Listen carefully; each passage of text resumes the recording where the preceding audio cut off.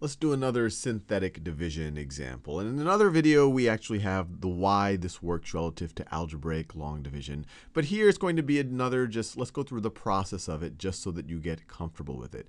And now is a good chance to, to give it a shot, to actually try to simplify this rational expression. So let's think about this step by step. So the first thing I want to do is write all of the coefficients of the numerator.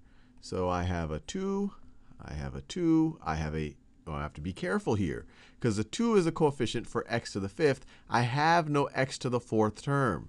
So for the x to the fourth term, I'm going to, just let me make it, let me start over. So the, I have the 2 from 2x to the fifth, and then I have no x to the fourth, so it's really 0x to the fourth. So I'll put a 0 as the coefficient for the x to the fourth term.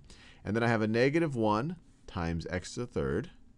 And then I have a positive 3 times x squared positive 3 times x squared, negative 2 times x, negative 2 times x, and, and then I have a constant term or 0 degree term of 7. I just have a positive 7.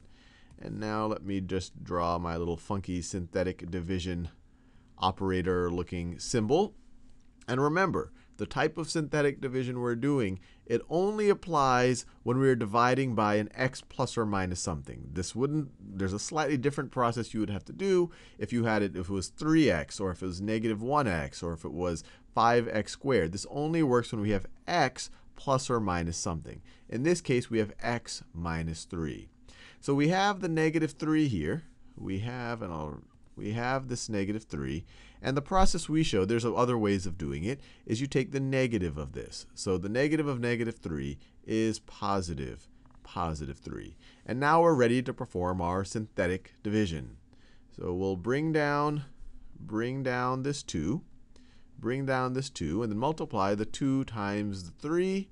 2 times 3 gives us 6. 0 plus 6 is 6.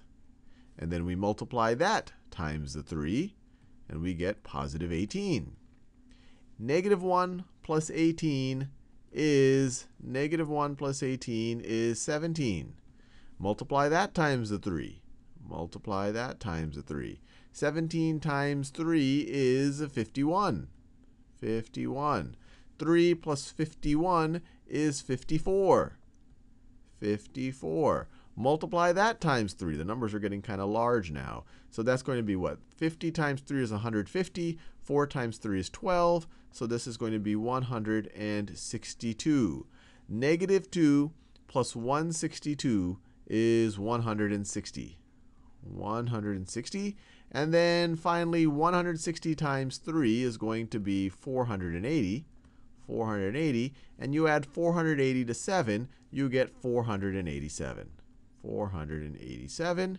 And I'm only, you can think of it, I only have one, one term or one number to the left-hand side of this bar here, or I'm just doing the standard traditional x plus or minus something version of long division, or synthetic division, I should say.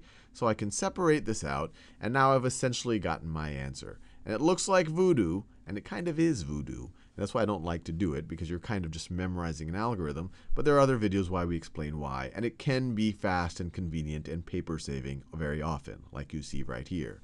But then we have our final answer. It's going to be, and let me work, let me work it work backwards. So I'll start with our remainder. So our remainder is 487. 487. It's going to be 487 over x minus 3. Over x, 487 over x minus 3. And so this is our constant term. And so you're going to have plus, plus 160 plus 487 over x minus 3. Now this is our x term. So it's going to be 54x, 54x plus all of this. This is going to be our x squared term. So this is going to be 17x squared plus 54x plus 160 and all of that. Then this is going to be our x to the third term.